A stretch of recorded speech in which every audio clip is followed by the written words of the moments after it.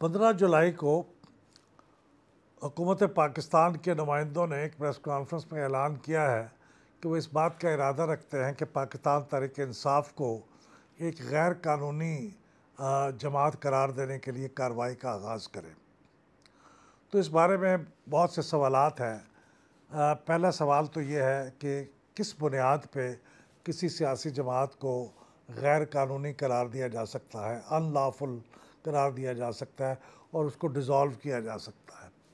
उस पर दो बातें हैं हमारे कॉन्स्टिट्यूशन के आर्टिकल 17 के अंदर लिखा हुआ है कि अगर कोई जमात पाकिस्तान की सालमियत और सलामती के ख़िलाफ़ ऐसे इकदाम कर रही हो जिससे मुल्क को ख़तरा लाक हो जाए तो उसको हुकूमत वक्त एक डेक्लेशन के ज़रिए ये कह सकती है कि इस हुकूमत को, इस पार्टी को खिलाफ कानून करार दिया जाए। और दूसरी बात यह है कि अगर ये बात महसूस हो रही हो कि पार्टी किसी गैर मुल्की इमदाद के ऊपर चल रही है, यानी वो फॉरेन एडिड पॉलिटिकल पार्टी है तो ये दूसरी बुनियाद बन सकती है उस पार्टी को खिलाफ कानून करार देने की। तो ये दो ग्राउंड्स हैं। अब इसका प्रोसीजर क्या होगा? अगर कोई हुकूमत, यानी वफाकी हुकूमत वफाकी हुकूमत से मुराद है कि वज़ी अजम और उनकी काबीना इस नतीजे पर पहुँचें कि इन दोनों में से कोई एक वजह या दोनों वजूहत की बिना पे और ये हो सकता है कि इलेक्शन कमीशन की तरफ़ से भी रेफरेंस आ जाए वफाक की हुकूमत को, और हो सकता है वफाक की हुकूमत ख़ुद दूसरे ज़राए से कि उसके पास ये इतलात आ जाएँ कि यह पार्टी या तो मुल्क की सालमियत और मुल्क की सलामती के ख़िलाफ़ काम कर रही है या ये कि वो फॉरेन एडिड पॉलिटिकल पार्टी है। तो फिर वो हुकूमत एक डेक्लेशन जारी करेगी कि ये पार्टी अब गैर कानूनी सियासी जमात होगी। और ये डेक्लरेशन वो गैज़ेट ऑफ़ पाकिस्तान के नोटिफिकेशन में जारी करेगी। यानी बाकायदा इसका नोटिफिकेशन होगा, इसकी गैज़ेट नोटिफिकेशन होगी। तो नोटिफिकेशन करने के पंद्रह दिन के अंदर अंदर विफाकी हुकूमत को यह डेक्लरेशन सुप्रीम कोर्ट के सामने पेश करना होगा और सुप्रीम कोर्ट उस डेक्लरेशन का जायज़ा लेगी। और उसका जायज़ा लेने के बाद उसके ऊपर, वो चाहे तो उसके ऊपर शहादतें इकट्ठी कर सकती है, लोगों को बुला सकती है, उनकी राय सुन सकती है, पार्टी के लोगों को बुला सकती है कि उनको अपने दिफा में क्या कहना चाहते हैं। तो ये कार्रवाई करने के बाद सुप्रीम कोर्ट या तो इस डेक्लरेशन को गलत करार दे देगी और कहेगी कि यह पार्टी को अनलाफुल करार देना दुरुस्त नहीं है, या फिर वो उसको लाफुल करार दे देगी। और अगर वो लाफुल करार दे देगी सुप्रीम कोर्ट तो उसके फ़ौर बाद ये इलेक्शंस एक्ट 2017 का सेक्शन 212 है, उसका तीसरा हिस्सा, उसके यानी सुप्रीम कोर्ट के इस डेक्लेशन को सही करार देने के बाद वो पार्टी खुद ब खुद फ़ौर डिज़ोल्व हो जाएगी। और डिज़ोल्व हो जाने का मतलब यह है कि अब वो पार्टी आपका वजूद ख़त्म हो जाएगा और उसके साथ ही उस पार्टी से ताल्लुक़ रखने वाले जो पार्लियामेंट के मेंबर्स हैं यानी सैनेटर्स हैं कौमी असम्बली के मेंबर हैं सूबाई असम्बलियों के मेंबर हैं हती कि लोकल गवर्नमेंट के अंदर भी जो इलेक्टेड लोग उस पार्टी के हैं, वो सारे डिसक्वालीफाई हो जाएँगे। लेकिन उससे पहले उनके पास ये मौका होगा कि वो पार्टी से अपनी डिसोसिएशन कर लें, उससे अलग हो जाए और बैसियत आज़ाद उम्मीदवार के रहें या किसी और पार्टी में चले जाएँ। लेकिन इस पार्टी से अलहदगी इख्तियार कर लें तो फिर वो डिसक्वालीफाई नहीं होंगे। तो अब ये जो फ़ैसला आया है इसके बारे में इस बुनियाद पे ये ख्याल भी पैदा होता है कि इसकी टाइमिंग की वजह से चूँकि अभी सुप्रीम कोर्ट का एक फ़ैसला आया है, जिसके मुताबिक उनतालीस थर्टी नाइन मेंबर्स को तो सुप्रीम कोर्ट ने कह दिया है कि वो तो पीटीआई से उनका एफिडेविट मौजूद है, लिहाजा वो तो पीटीआई के हैं, कौमी असम्बली के मेंबर लेकिन 41 मेंबर्स ऐसे हैं कि वो उनके ये क्लियर नहीं होता कि उनका ताल्लुक पीटीआई से है या नहीं है। तो लिहाजा उनसे एफिडेविट लिया जाए और फिर उस एफिडेविट को पॉलिटिकल पार्टी जिसके लिए एफिडेविट दिया हो, वो भी उसे एंडोर्स करे। तो उसके बाद फिर उनकी उस पार्टी के अंदर शमूलियत को तस्लीम किया जाए इलेक्शन कमीशन उसका एक नोटिफिकेशन जारी करे। यानी ये 41 लोगों का अभी मामला ओपन है।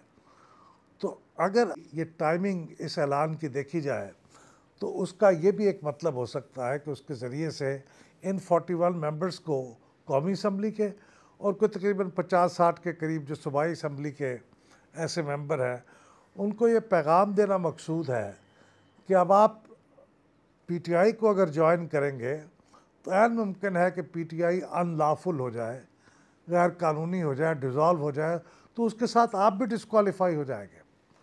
तो इसलिए आप सोच समझ के फ़ैसला करें, यानी एक तरीके से उनके इस जजमेंट को इन्फ्लुएंस करने की एक कोशिश भी हो सकती है। मुझसे पूछा गया कि ये किस हद तक इम्कान है कि इस फैसले को सुप्रीम कोर्ट एंडोर्स कर दे? बज़ाहिर तो मुझे ऐसा लगता है कि ये साबित करना बहुत मुश्किल होगा कि पीटीआई एक मुल्क दुश्मन जमात है और मुल्क की सालमियत और मुल्क की सलामती के ख़िलाफ़ काम कर रही है। ख़ास तौर पे इस फैसले के बाद जो अभी हाल ही में सुप्रीम कोर्ट की तरफ़ से आया है सुप्रीम कोर्ट का मूड तो ये बता रहा है कि वो पीटीआई की स्ट्रगल को किस नज़र से देखते हैं तो वो पीटीआई को इतनी आसानी के साथ तो कबूल नहीं करेंगे कि वो मुल्क दुश्मन जमात है। तो इसलिए सुप्रीम कोर्ट की एंडोर्समेंट हासिल करने के लिए गालिबा हुकूमत के पास बहुत ही ठोस सबूत होने चाहिए। वो अगर कोई ऐसे सबूत हैं जो अभी तक सामने नहीं आए, जिसका हमें नहीं पता तो अलग बात है, लेकिन जो बाहर चीज़ें हैं वो तो कोई इतनी ठोस नहीं है जिसके बुनियाद पे किसी पार्टी को, किसी पॉपुलर पार्टी को खिलाफ कानून करार देने का इतना बड़ा कदम सुप्रीम कोर्ट जायज़ करार दे। लेकिन अब एक और सवाल भी है, लोग पूछते हैं कि क्या इससे अगर फ़र्ज़ करें सुप्रीम कोर्ट ये करार दे भी दे कि ये पार्टी खिलाफ कानून है और उसको डिज़ोल्व कर दिया जाए तो क्या इसका मतलब ये है कि तहरीक इंसाफ हमेशा के लिए तबाह हो जाएगी डिस्ट्रॉय हो जाएगी। तो मेरी राय उस बारे में ये है कि ऐसा नहीं होगा। जब तक किसी पार्टी के साथ लोग मौजूद हैं, हमदर्द मौजूद है सपोर्टर मौजूद है मेंबर्स मौजूद हैं, और उस पार्टी को सपोर्ट दे रहे हैं, पार्टी ख़त्म नहीं हो सकती। नेशनल अवामी पार्टी एक नस्बता छोटी पार्टी थी, खैबर पख्तूनख्वा की पार्टी थी, उसको भी सुप्रीम कोर्ट ने अनलॉफुल करार दिया था। लेकिन उसके बाद क्या ये पार्टी ख़त्म हो गई? नहीं। चंद दिनों के अंदर एक नई पार्टी बन गई, जिसका नाम था अवामी नेशनल पार्टी। यानी नेशनल अवामी पार्टी के बजाय अवामी नेशनल पार्टी। वो पार्टी बन गई और नेशनल अवामी पार्टी के जितने मेंबर्स थे, वो उसके अंदर शामिल हो गए। जितने उसके अहदेदार थे, वो उसके अहदेदार बन गए। तो नई पार्टी फिर से बिज़नेस एज यूजल के तहत काम करने लग गई। तो पार्टी डिस्ट्रॉय नहीं हुई, आज भी वो पार्टी कायम है ए तो किसी पार्टी को सिर्फ़ कानूनी तौर पे खिलाफ कानून करार देने से तो कोई मसला हल नहीं होता। तो क्या एक आखिरी सवाल जो कई लोग पूछते हैं फाइन पॉइंट कि क्या पार्टी के ऊपर उस वक्त से पाबंदी लग जाएगी जब हुकूमत उसका डेक्लरेशन करेगी, या उस वक्त पाबंदी लगेगी जब सुप्रीम कोर्ट उसके बारे में फ़ैसला करेगी? तो अगरचे थोड़ी सी एम्बिगिटी है इसके बारे में, लेकिन मेरी राय यह है, अगर मैं इलेक्शन एक्ट का सेक्शन 212 देखूँ, उसका तीसरा सब सेक्शन थ्री तो उसमें डिसोल्यूशन का ये बताया गया है कि जो ही सुप्रीम कोर्ट डिसोल्यूशन के हक में फ़ैसला देगी तो पार्टी फ़ौर डिज़ोल्व हो जाएगी।